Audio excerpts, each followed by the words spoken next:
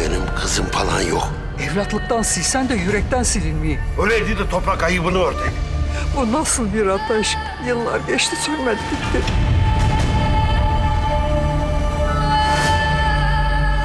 Neden geldik buraya? Yaşamaya geldik.